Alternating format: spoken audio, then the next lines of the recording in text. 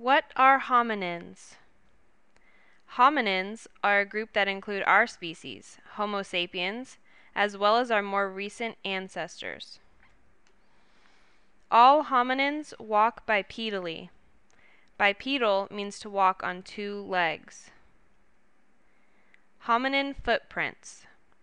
There is fossil evidence of hominins being bipedal in Tanzania, where some footprints have been fossilized. Hominin bones.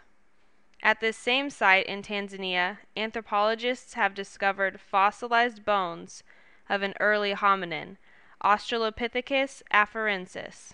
Hominin physical similarity.